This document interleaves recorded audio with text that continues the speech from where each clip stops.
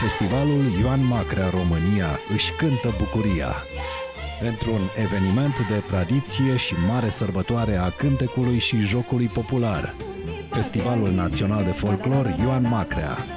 Duminică seară e seara ansamblurilor artistice și a recitalurilor susținute de vedete ale folclorului românesc. Doar la TVR1.